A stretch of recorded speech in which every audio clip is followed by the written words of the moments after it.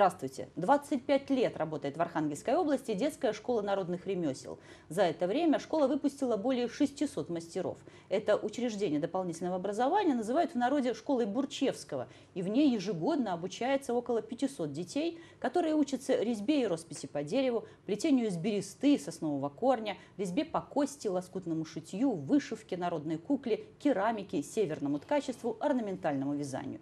Всем этим богатством руководит Владимир Бурчевский, народный мастер Российской Федерации, заслуженный работник культуры Российской Федерации, лауреат премии президента в области образования. Сегодня он гость программы «Такие дела». Здравствуйте, Владимир Николаевич. Здравствуйте. Вот более 40 лет вы заняты одним делом – это северными народными ремеслами. А вот когда в юности заканчивали профтехучилище по специальности судового плотника и столяра, мечта вот это уже была – или вы не думали, куда вас повернет судьба? Да, навыки были, потому что они от деда у меня еще до, э, до училища. А, так сказать, дед меня воспитывал. Я у него жил у деда в деревне с 6 лет и до 15. И, то есть уже было, так сказать, закалка у угу. него, да. Вот. А, ну, и, но у меня не было мысли, что я потом буду там какую-то школу создавать и там что-то передавать кому-то чего-то, потому что там не очень еще много что умел. Вот. Но э, у меня толчок да, да, дал, э, дали предприятие «Беломорские узоры». Вот в те годы... Но до беломорских-то узоров вы еще в море ходили, ну, да? Это вы уже не нет, считаете? Нет, я считаю, море просто, я уже понял, что моряк из меня э, нет, моряк, э, я уже, э, хотя вот я исламбалец коренной, но я понял, что нет. И как раз в эти годы создавалось э, предприятие, и была mm-hmm. организация, и как раз э, были экспедиции, и вот по, по мастерам, э, по районам то есть заключали договора с мастерами э, вот на, на изделие продукции. И вот тут я, когда приезжаю к мастеру, я очень помню, такой первый был, такой, что ли, был толчок, э, когда приехал э, в Верхнюю, э, Верхнюю Уфтюгу, это Красногорский район, там к мастеру Юшнякову, Данилу Михайловичу, и зато и сам к ним приехал. И вот спрашиваю, у вас дети есть? Да, три сына. Где? А кто где-то? В Москве там живут. А, они умеют делать туиса? Mm-hmm. Нет. Внуки есть? Да, у меня внуков, по-моему, пять, он сказал, внуков. И они-то вот у вас интересовались вот, вот вашими туисами, то есть как вы это делаете? Нет. То есть я понял, что вот как... И потом уже несколько... Преемственности да, нет, нет, да? да. И было несколько вот этих мастеров, приедал, и... Э, то есть не было передачи. То есть как-то не, не очень такое отношение было уважительное вообще. Угу. Это вы уже были в Беломорских узорах, да, да работали? Да, а да. вот вас, э, сколько лет вам э, было, когда вы так серьезно начали, начали уже интересоваться и заниматься уже? Народным творчеством, народными ремеслами. Вот, когда начал Беломорский узор, я считаю, что да. Ну, это было да. сколько там, 20, да? Мне было, да, было 22. Молодой еще совсем, да, правда? Сейчас-то 20-летний вообще. Да. А вы уже так понимали, вот откуда эта тяга все-таки от деда, да? Я, я думаю, считаю, что вот да, э, вот именно я понял тогда, что вот э, в детстве заложить надо. Mm -hmm. Я когда работаю в Беломорских узорах, и у нас приходили, у нас там была подшефная школа, э, значит, э, сейчас она третья, была подшефная школа э, Беломорских узоров, значит, mm -hmm. и ребята приходили уже, ну, в процессе учебы они приходили на экскурсии, а потом после, мы э, приглашали после окончания 10 классов. И очень был, и подсаживали к мастеру, Значит, Идея и, какая хорошая, да? Да, да, да, к мастеру. И он в течение трех месяцев как бы перенимал опять-таки из рук в руки. Но э, уже ребятам было уже по 16, по 17 mm-hmm. лет. То есть и была очень большая текучесть. Сначала ребята приходили, все красиво, нравилось, но в процессе обучения. Еще три месяца значит, там они работали, но когда уже начали, когда мы их уже присваивали в разряд, и они начали уже сами уже работать, вот и тут массы стал, они сталкивались с трудностями, с проблемами. То есть они просто так вот красиво все это надо было, это, это прежде всего труд. И была большая текучесть. И тогда, вот тогда я понял, что надо идти к детям как можно раньше. А как вы пришли в образование? Ведь ну, мастером быть это одно, а учить других это совершенно другое. Это и не каждому дано. Почему да. вы решили, что вы можете учить? Э, ну, учить, э, как была поговорка, я помню, э, была такая известная, но сейчас она есть, хочешь научиться сам, возьми- возьмись учить другого. То есть вот, ну, куда детям идти? Вот, если у меня такая была идея, вот это, заня- заняться с детьми. Э, Ну, тогда пошел я в школу. В школе, в школе э, в 17 теперь в школе. а, Тогда были программы, э, пришлось э, с 4 класса по 9 и 9 10 обучение ребят. Я был по керамике сделал для ребят То старших. есть вы пошли набирать э, ребят, да? Э, мета- школу у- учитель труда. Ах, вы учителем Да, труда ведь еще да, да, были, да, да, да. в 17-й Теперь школе. называют технологии, теперь раньше был учитель труда. И вот два года э, я м, работал. И когда, ну, я, я и дальше хотел работать в школе, но когда сдавался дворец пионеров, это был год 80-й, Табуретки вы не делали. Э, э, Почему не делал? Де- Лопаты делал, табуретки делал, все делал, да. Вот. э, И, эм, и когда Беломорские ко мне обратились, значит, бывший директор предприятия э, Беломорский узор Дерякина Валентина Матвеевна, значит, э, а, а, э, к ней потом обратились э, обком, кстати, обком партии, даже не горком, а обком партии, это как раз прошел 24-й съезд э, Мгм. по- значит, партии, и там было очень, э, так сказать, вот, а, а, постановление о развитии традиционной народной культуры и как бы ремесел, промыслов. а, вот.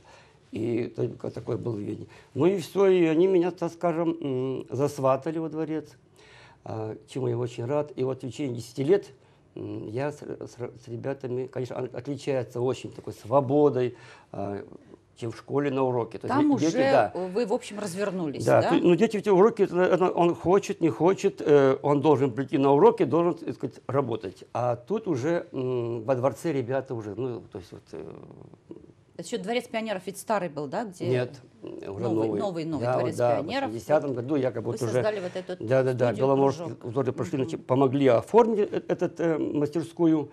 И вот в течение 10 лет мы с ребятами ездили в экспедиции.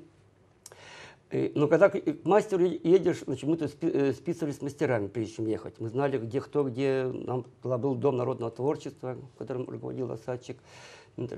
А мы списывались с мастерами, можно ли приехать, то есть вот с детьми. И надо сказать, что когда приезжаешь один, э, одна реакция мастера. Но когда приезжаешь с детьми, он более так охотно раскрывается, он уже в тебе не видит, э, ну что, Конкурента как-то- да, да, конкурента, да, и уже э, он понимает, что ты, я не себя лично, как вот э, дети этим занима- заниматься хотят.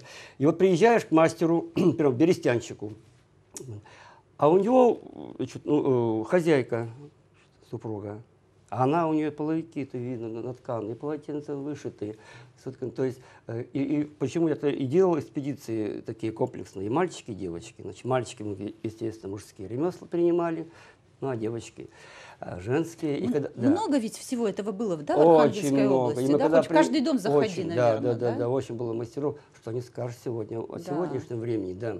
И когда приезжаешь, приезжаешь э, в Архангельск, мы возвращались, и с нового учебного года мы начинали это все как бы вот ну, осваивать, все, что мы видели, там переняли Ну, секреты. вот 10 это. лет. Что вдруг захотелось школу-то создавать?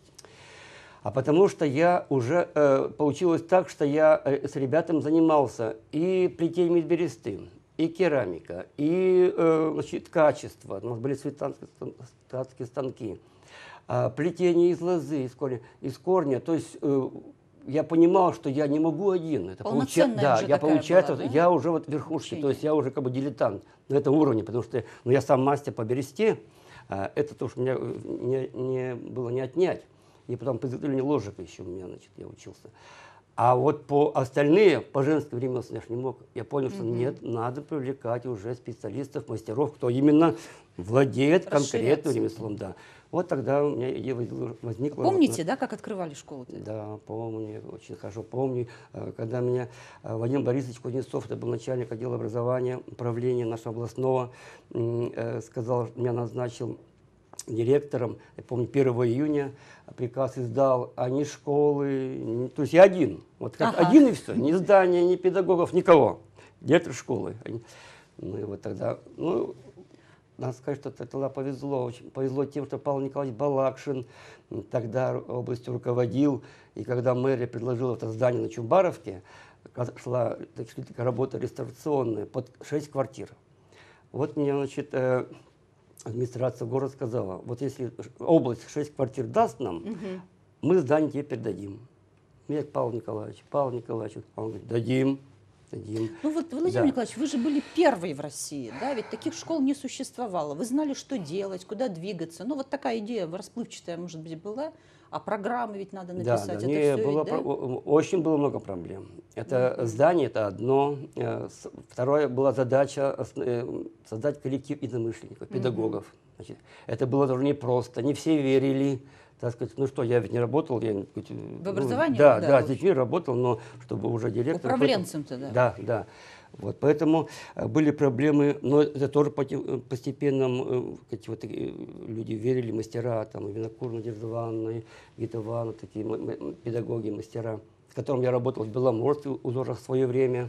Они были мастерами, там То работали. есть как-то вы смогли их объединить, да, За- заразить этой идеей. Вот поверили, чему я очень благодарен им, педагогам. Вот. И сейчас, конечно, они уже у вас, ну, одна, э, э, Антипина Ирина Васильевна работает в Плоскуту, вот, как бы, из первых, а так-то все уже, они как бы... Обновились уже, да? Обновились, уже молодежь, уже молодежь.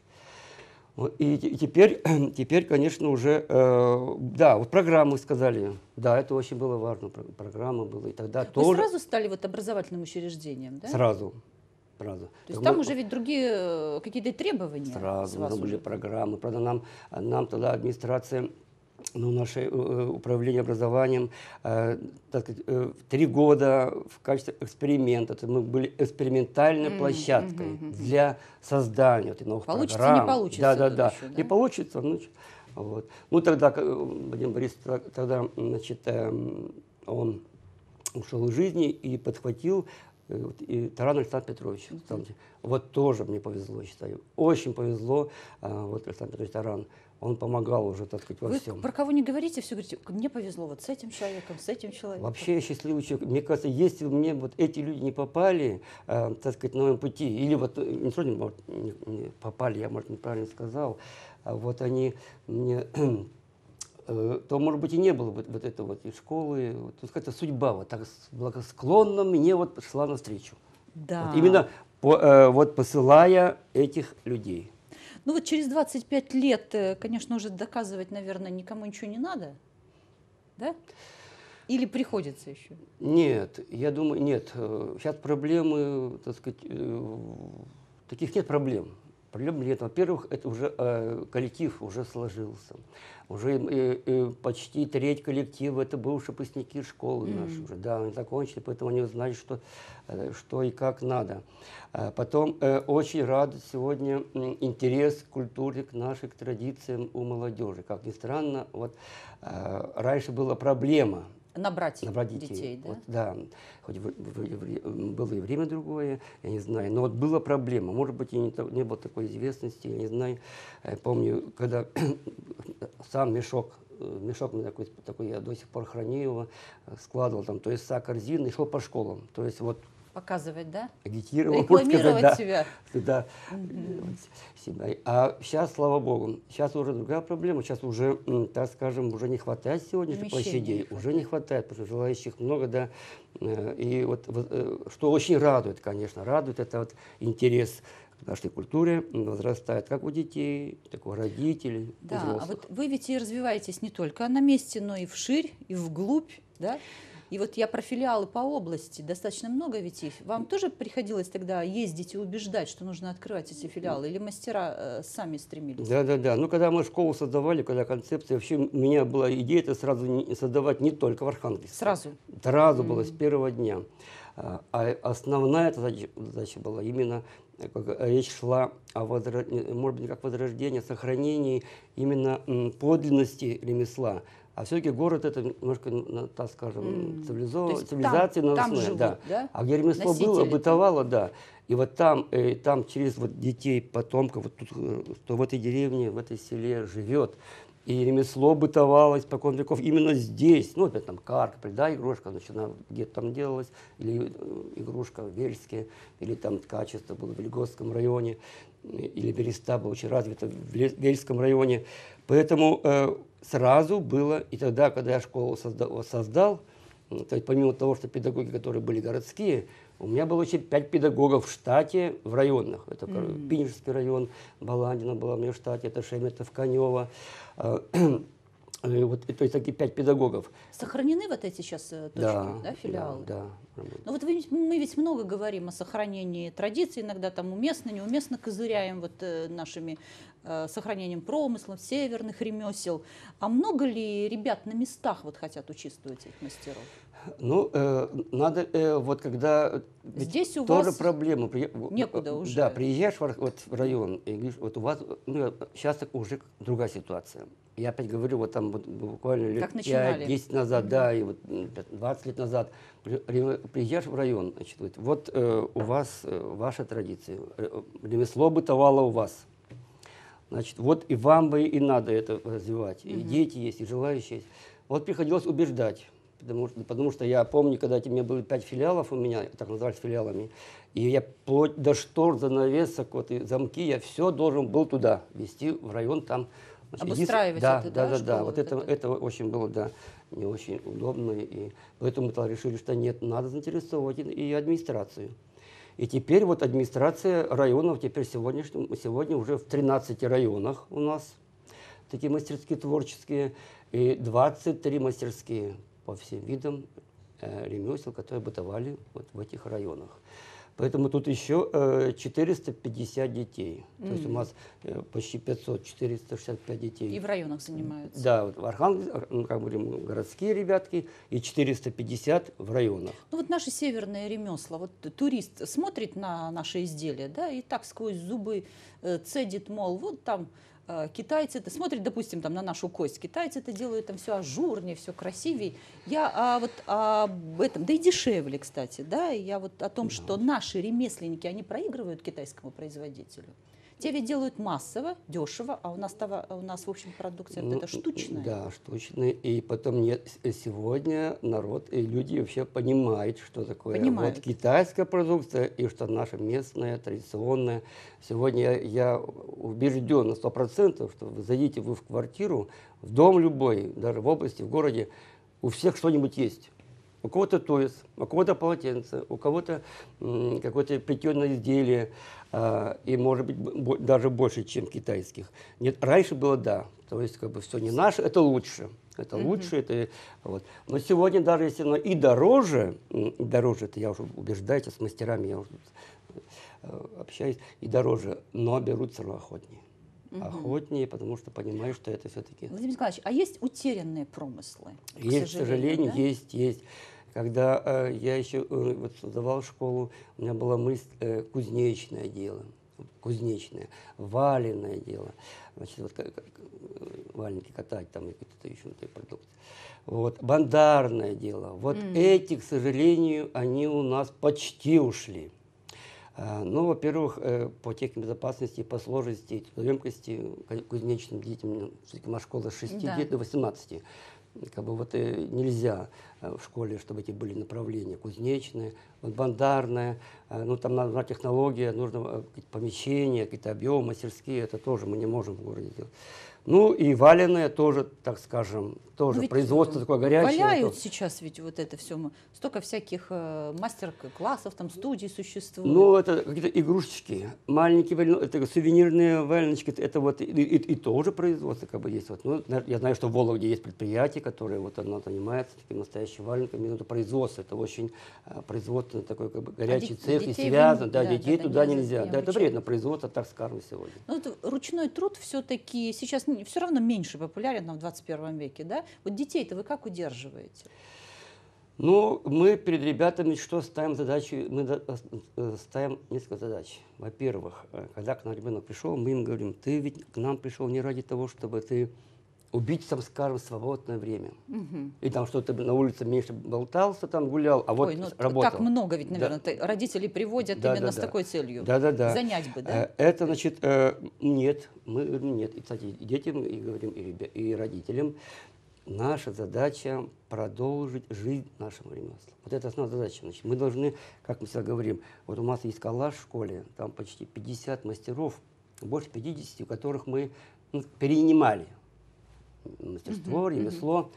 э, секреты мастерства, там, секреты материала, технологии изготовления.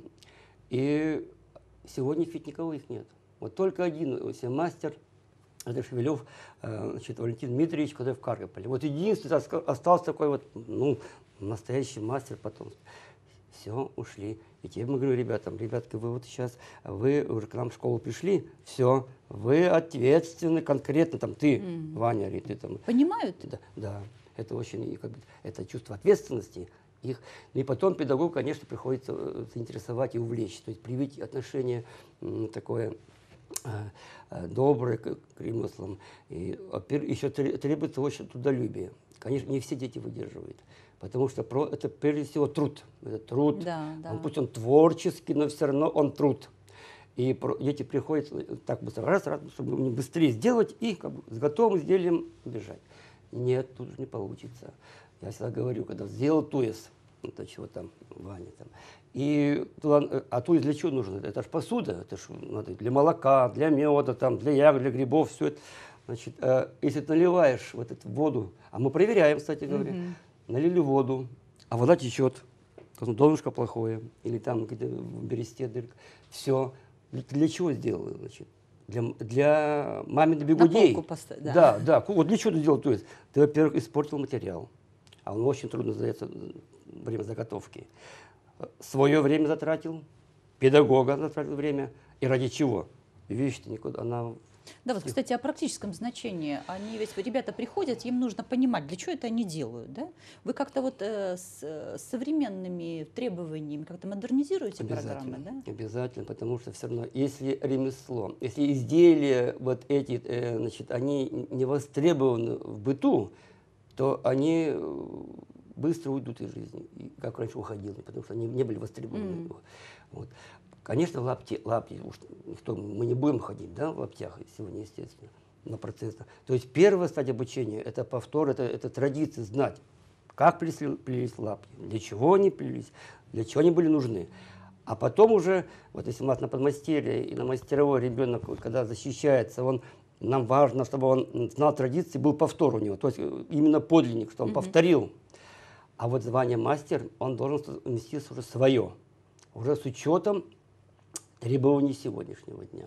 Естественно, там модули, там качество, значит, какие-то красивые там. Но половички там эти, полотенца, они сегодня тоже востребованы.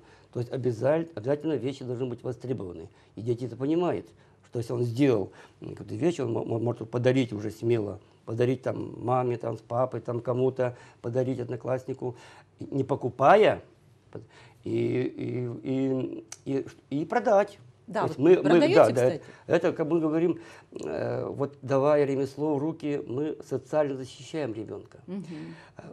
Он не будет там народным мастером, там, не будет он там каким-то специалистом, хотя мы, мы некоторых ребят именно туда сказать, нацеливаем, чтобы он был у нас специалистом. Вот, и при любой ситуации, кем вы ни были, какую профессию вы не прибыли, врачи, учителя, то есть разные профессии, а, это пригодится. Все будете мамами, папами, бабушками, дедушками, это у вас там пригодится. И потом а, еще самое главное, что э, ну, жизни ситуации, они могут разные. У всех они могут такие проблемы, как они, но ты все равно вы, вы, выживешь. Если ремесло в руках есть, при любой ситуации ты выживешь, и на, так как мы говорим, на кусок хлеба и да. с маслом ты это доработаешь. Да и от хандры, наверное, тоже, да? Да, да. Хорошее лекарство. Почему раньше мастера были такие м, севере, сам, так, достаточные, гордые, они, они, ведь они, они были уверены, что они всегда выживут, и они ведь жить будут и неплохо. А, кстати, для взрослых курсы вы делаете? Предлагаете? Вот что, э, э, у нас в этом сложность, потому что мы по уставу как бы, э, мы не имеем права, таки, да, вот, но мастер-классы для желающих, mm-hmm. конечно, мы проводим. У нас очень много интереса не только для наших, так сказать, вот, кто живет у нас в Архангельской области. Мы проводим мастер-классы для педагогов, значит, дополнительное образование для учителей технологий э, в школах общеобразовательных проводим в году несколько раз. Вот. И очень э, приятно, что у нас э, много э, интерес с России и даже из-за рубежа. Э, очень много. И вот в прошлом году и мы уже и до этого проводили российский мастер-класс, то есть уже э, обучали. да, да, да, да, такой да, уже да, да. эталон исконных да, да. Ну вот и сейчас еще мы дистанционное обучение, так скажем, у нас есть, мы обучаем Хотя я убежден на сегодня сто процентов, что передача именно вот мастерства из рук в руки это самое глаза эффективное. глаза, да, да, да, да. Это сто процентов удача. А, Если помните, я два года вел, э, значит, ну, вы, наверное, не помните, это были годы 80-е. 86-87 я вел передачи по нашему Поморью, э, так назывались у Бурчевского э, в гостях передачи, телеуроки, значит, э, вот два урока в месяц и с повтором. Но столько писем прошло, не успела, не поняла. То вот это, мешки писем, я понял, что нет, э, это, это уже не то. Поэтому все-таки э, дистанционное обучение хорошо, но вот из рук в руки, как вы сказали, Да. глаза в глаза, вот Да. это класс. В 2011 году, когда вот вы, вы говорили, что у вас есть мечта создания учебно-методического регионального центра традиционных ремесел Европейского Севера при тогда еще педагогическом институте. Вот что стало с этой мечтой? Да, э, тогда мы, э, был такой, значит, у нас э, э, в ТИП такой факультет, значит, э, и им Васькин был деканом, руководил, Э, Ему была с ним такая идея, он был очень заинтересован такой создать, потому что там э, э, требовались э, с высшим образованием специалисты, то есть педагоги там, значит, вот, а у этого в школе не было. И мы как бы, э, усилия такие Такой уже совместные. на, научной уже Да, да, основе, да, да. То есть там вот опять разработка новых программ, так, апробирование, может, и на студентах, и в школах образовательных. Вот. И мы э, на ученый, выходили на ученый совет, тогда, по-моему, Гол- Голгин возглавлял, и, по-моему, первое заседание было 50% на 50, э, значит, э, за. За против, да? И тут Васькин, э, значит, Михаил Васильевич уезжает в Питер. И все. Приходит новый декан, и потом опять соединение, значит, вот ПГУ с АГТУ, нашего уважаемого САФУ. То есть вся эта идея у нас как бы Не будете возвращаться. пока, не знаю, пока, но э, нет, у нас сейчас э, САФУ э, э, заключен договор. Да, значит, мы студентов значит, обучаем, стажируются студенты, то есть у нас и, да, из художественной обработки материалов у нас приходит, и, и дизайна, и то есть у нас студенты проходят практику и обучаются, то есть вот у нас такой договор с САФУ заключен. Десять лет назад вы выпустили книгу «Ремесло за плечами не выяснить». Уже 10. Да. Есть еще желание написать, поделиться Да. мыслями, опытом? Ну, тут, может быть, было о школе, и, так скажем, м, немножко были, так сказать, автобиографичны, там были такие, то есть, как бы авто- э, о себе любимом, там, и Да. о проблемах, и вообще, как бы школа создавалась было. Вот сейчас у меня идея большая, я уже рассчитываю на кого-то, кто мне поможет, м, рас- а, о мастерах особый сказ. Я хочу э, раскрыть конкретно через мастера ремесло наше не просто абстрактно, вот ремесло, как плести лад, это у меня уже есть, и у меня вышли две, две- две книги там по керамике, как латку сделать, как горшок, или там вот э, 25 уроков у меня по бересте. А вот э, через мастера конкретно, конечно, сегодня мало мастеров, мало вот таких настоящих, вот таких, которые донесли до нас вот этой традиции. э. Поэтому э, вот такую книгу, он будет как наверное, учебником будет он, для, для кого? Для педагогов, для, может быть, для просто желающих заняться, перенять. Вот такую, такую э, так скажем, книгу у меня есть. О мастерах особый сказ. Да, спасибо, Владимир Николаевич. У меня еще несколько вопросов такого блица небольшого. Вы сейчас из бересты плетете? Вы же мастер по бересте. Э, Нет, сейчас, сейчас уже не плету. Вы свой, свой дом сами построили? Нет. Нет. У меня, у меня э, именно такой старинный дом, он постройки 1896 года. Вы его сохраняете? Да, да. Тут, ну, поддерживать надо обязательно. Но уже я все говорю, что я не квартиросъемщик, а домовладелец. Я не знаю, в курсе ли вы, но вот у вашей школе э, группе, есть группа ВКонтакте, и там очень бывшие ученики отвечают на такой вопрос. Какую роль в вашей жизни сыграла школа народных ремесел? Вы почитаете очень интересные ответы. Да, а у меня для вас вопрос. Какую роль в вашей жизни сыграла школа вот эти 25 лет? Как-то они вас поменяли? Ну, я не знаю, поменяли, э, ну, э, может быть, и громко сказано, но это вообще, вот, наверное, как-то выросло вообще в смысл моей жизни. Э, Вот э, я просто не представляю, хотя надо уже, уже так сказать, молодым уже все, уже я, я уже готов передать сегодня все уже, э, и уже, так скажем, отойти от деятельности школы. Э, Вот. Но э, смысл жизни, э, вот я в этой проблеме, я все. Ну, у меня жена домой смеется, все, я прихожу домой, вечером говорю, все, все, ухожу, ухожу на пенсию. Вот. А утром опять все, встал, пошел, опять забыл, что я вчера ей говорю, что я Забыл, ухожу. что на пенсию собрались. Да. И вот так очень часто. А ни о чем не жалеете? Что Нет. вы сейчас бы исправили? Нет, нет, нет, нет, просто не о чем. Сейчас такая армия единомышленников, э, я имею в виду и, и педагогов, и взрослых, и по области, и, и детей, и родителей. Э, Просто э, ну, совершенно не о чем жалеть. Счастливый человек. Я счастливый. человек. Спасибо, Владимир Николаевич. Здоровья вам и единомышленников команды такой хорошей, крепкой. Спасибо. В студии был Владимир Бурчевский, директор детской школы народных ремесел, народный мастер Российской Федерации, заслуженный работник культуры. 25 лет назад он рискнул создать первую в России детскую школу народных ремесел, и сейчас это дело уже живет своей жизнью. Можно сказать, повезло, можно сказать, судьба, а все вместе верность своему призванию. А ведь призвание – это то, ради чего человека призвали на землю. Вот такие дела. До встречи.